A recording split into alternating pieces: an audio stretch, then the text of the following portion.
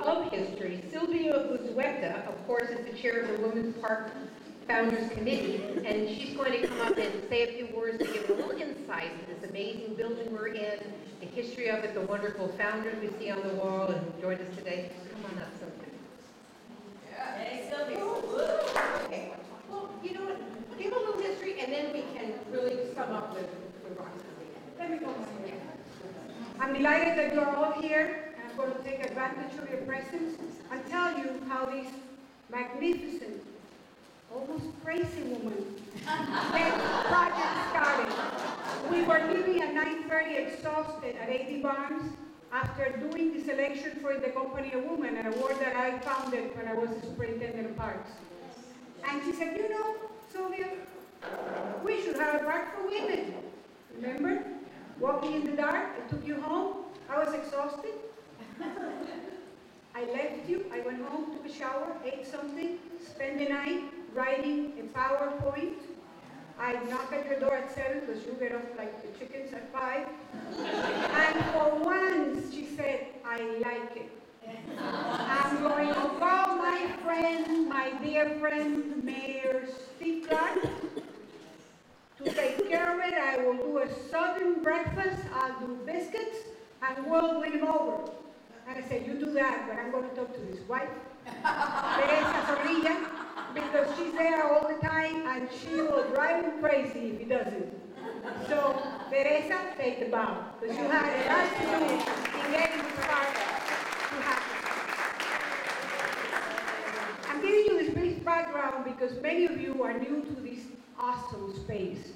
On December 2nd, 1992, we inaugurated the park. It was going to be earlier, but there was a hurricane. Hello, sometimes that happens. And we will open that time capsule August 26, 2020. I reserve my wheelchair. You all do the same. you know why?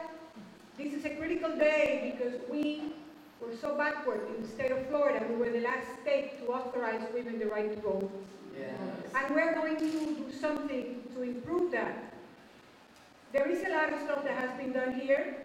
Roxcy got a woman inspired to give $50,000 to do the picnic shelter because she had had such a good time when she was at the park with her mother. And we have a picnic shelter.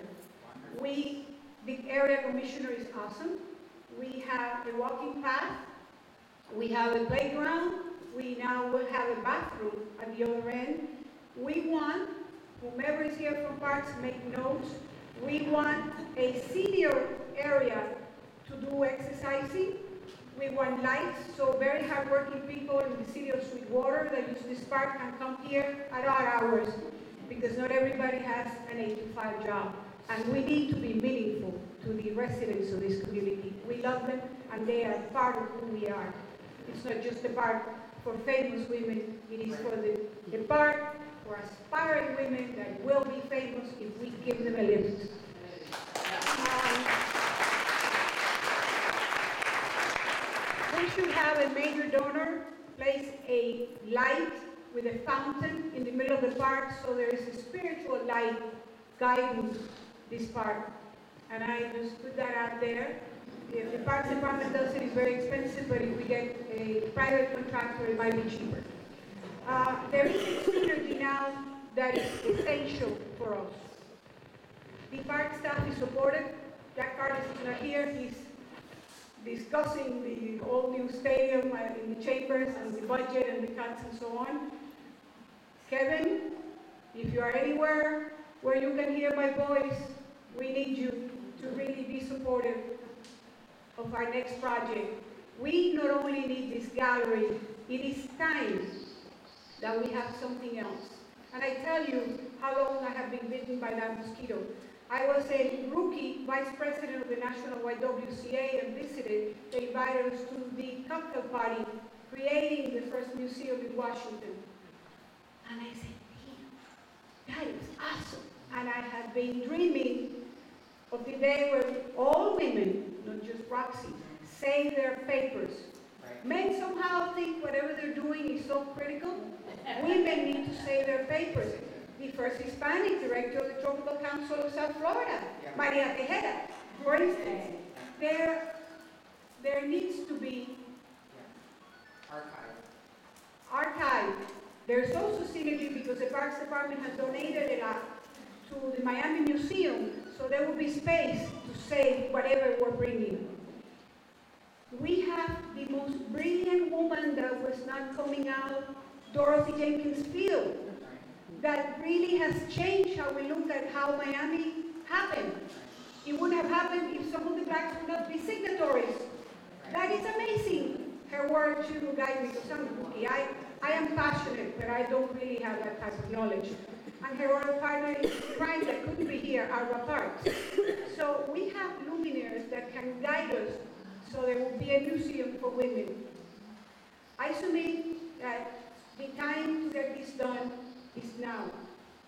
There's always a reason the economy is bad, things are bad, but they're millionaires donating 20 million for a name in the performing arts, and we hope we can entice her to also come here.